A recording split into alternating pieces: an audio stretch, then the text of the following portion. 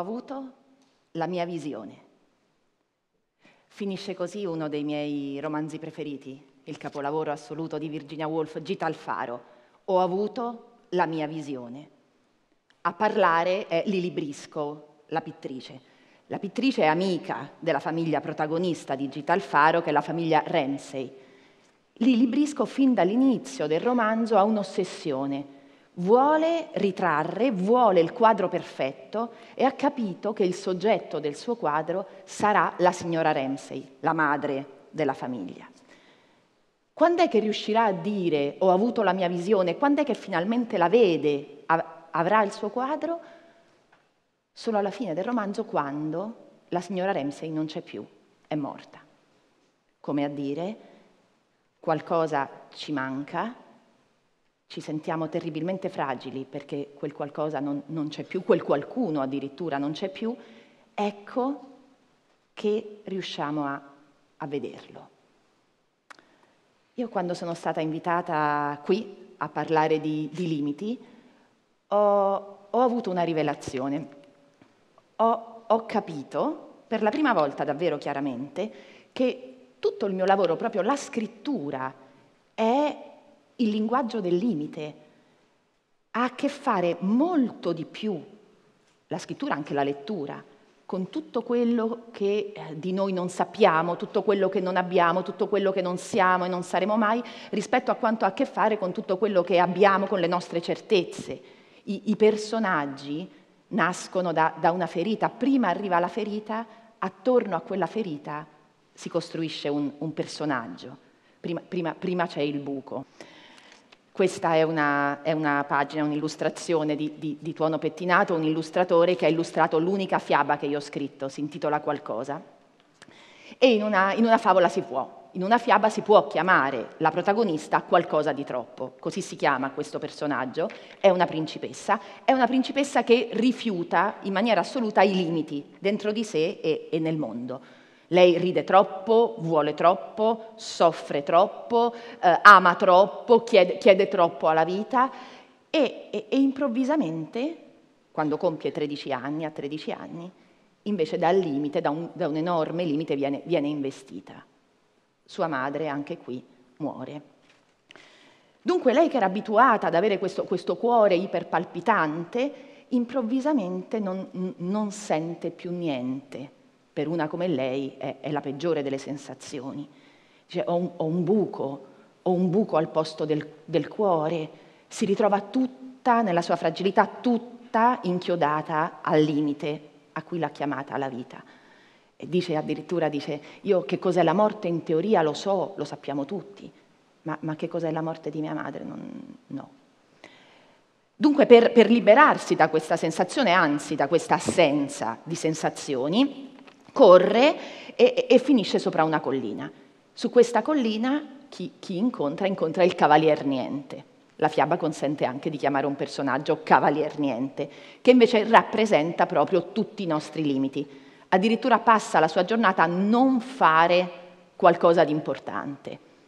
Non a caso lo incontra proprio in quel momento della sua vita e, e, la principessa qualcosa di troppo dice ma io mi voglio liberare di questo buco, come faccio? Ho, ho un buco al posto del cuore. E lui, lui le risponde, principessina, se lascerai stare il buco e lo accetterai senza tanti starnazzi, vedrai che entro un anno si restringerà da solo e diventerà addirittura qualcosa di prezioso da avere dentro di te, come come un passaggio segreto. Ecco. E poi magari di nuovo si allargherà e di nuovo si restringerà, perché i buchi che abbiamo nel cuore fanno così. Ecco, al di là delle, delle, delle fiabe dove dicevamo è, è facile, si può chiamare i personaggi così, io in, in, in, tutti i romanzi che ho, che ho scritto eh, ho, ho, ho capito che la mancanza attraverso questi personaggi poteva diventare un, un principio vitale. Penso a un libro soprattutto, nato da, da, da, una mia esperienza. Io ho passato un periodo molto difficile sette, sette anni fa, in cui improvvisamente tutte le mie certezze sono, sono, sono venute a mancare. Capita che succeda nello, nello stesso tempo.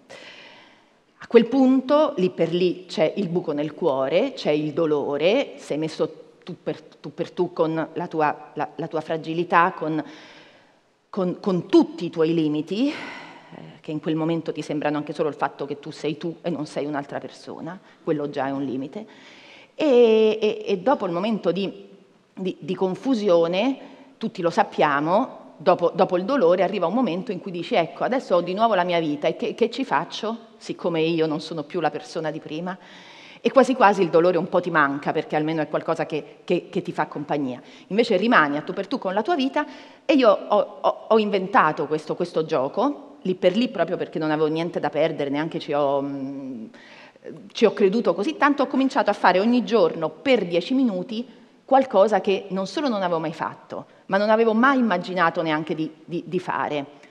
Cominciato con, eh, con, con, una scemenza, cioè mi sono mh, colorata le unghie con uno smalto colorato e da lì di giorno in giorno Ogni giorno, guardate, è difficile perché fare per 31 giorni qualcosa che non avete mai fatto è, è, è complesso. Intanto ti occupa molto tempo, e, lo ruba quindi all'ossessione, lo ruba alla confusione e lo ruba al, allo smarrimento di stare a tu per tu con la tua fragilità.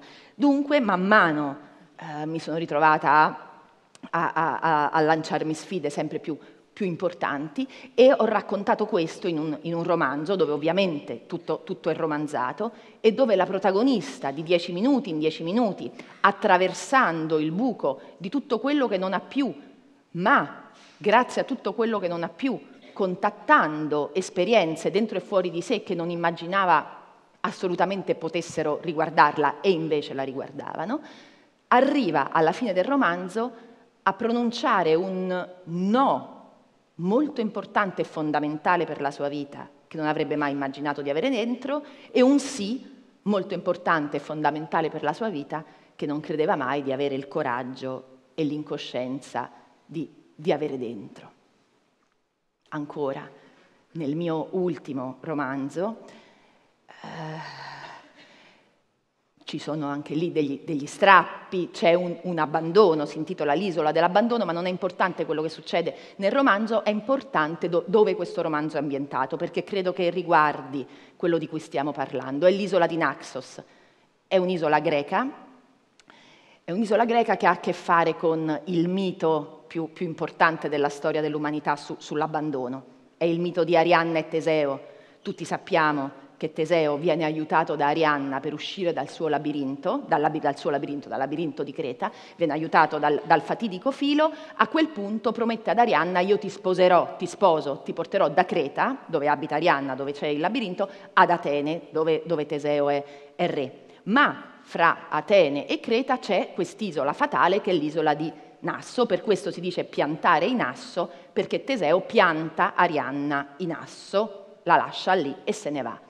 A quel punto il mito ha due interpretazioni fondamentali. C'è chi dice che Arianna decide di morire dentro al suo limite, di finire lì, di alzare le mani di fronte alla sua fragilità e diventa una stella. Il termine tecnico è si catasterizza, cioè per, tutto, per tutta la vita ricorderà a se stessa e al mondo sono stata abbandonata. Mentre invece c'è un'altra interpretazione che ci suggerisce Ovidio, ci piace di più, Arianna attraversa la sua fragilità, si consegna al suo dolore e a contatto con il limite del, del, del, del suo essere una, una persona, incontra il Dio, incontra Dioniso, su quella stessa isola dove è stata abbandonata, dove è stata costretta ad entrare in contatto con il limite del, del, del, del, suo dolore, che le impone il suo dolore, incontra Dioniso, come a dire il dionisiaco, il divino, ci raggiunge solo quando accettiamo la nostra fragilità. Che poi questo, al di là dei libri che abbiamo letto, nel mio caso scritto, se ci pensate, la nostra vita ce lo, ce lo suggerisce tutti i giorni. Perché? Perché le persone di cui ci innamoriamo, quelle proprio che ci sono più care, al di là dell'amore della nostra vita, anche gli amici, le persone eh, del, del, nostro cuore, se chiudete gli occhi e, e, e pensate a loro, le immagini che poi hanno fatto sì che queste persone entrassero dentro, dentro la nostra anima eh, hanno tutte a che fare con una, una fragilità. Eh, quella persona ci è cara e, e, e ci viene da, da, sorridere perché parla troppo, perché parla troppo poco, perché russa in quella certa maniera, ha quel certo tipo di voce, eh, le, cado, le, cade tutto dalle mani. E, perché? Perché ci innamoriamo dell'umano. E poi invece da noi stessi pretendiamo il divino, crediamo anzi che il divino abbia a che fare con, con l'assenza di limiti.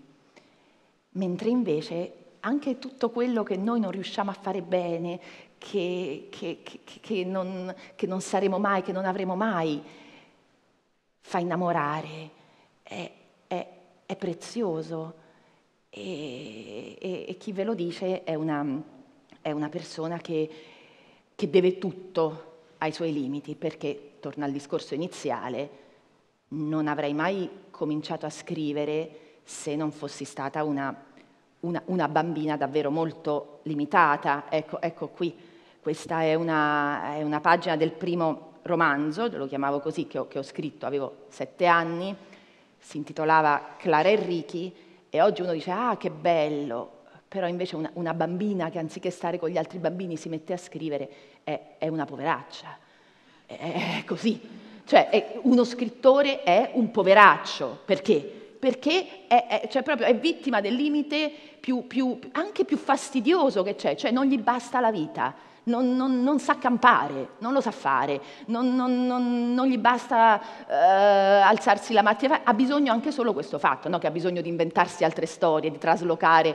in altri mondi per, per sopportare quello dove sta. Dunque io da piccola ero, ero, ero così, lo sono ancora, e, e mi, però da piccola non lo capivo, quindi ero più, più vittima delle sensazioni. Ero quella che oggi, no? che siamo più, si dice bambina ipersensibile, no, una disturbata nel senso proprio così, cioè una bambina che non pensavo ossessivamente, poi andavo bene a scuola solo per far contento mio padre, anche qui, ma non, non ascoltavo perché non, non, non, mi interessava andare a scuola, gli sport non mi piacevano, facevo finta di vomitare per andare a... no, terribile.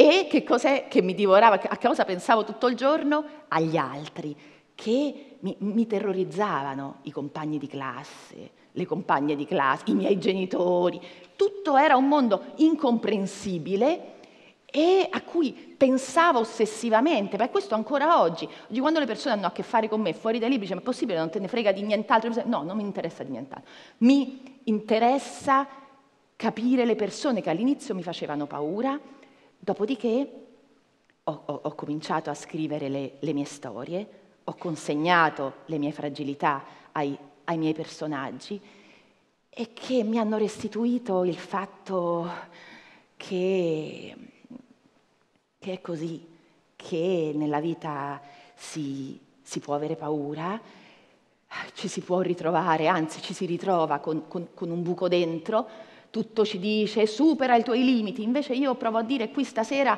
proviamo anche a, ad abbracciarli, proviamo a ad attraversarli, proviamo ad abitarli e ho cominciato con un omaggio a una donna speciale e vorrei finire con un'altra donna speciale perché ci, ci ispirasse, è Simone Weil che dice dentro ogni limite abita un Dio. Grazie.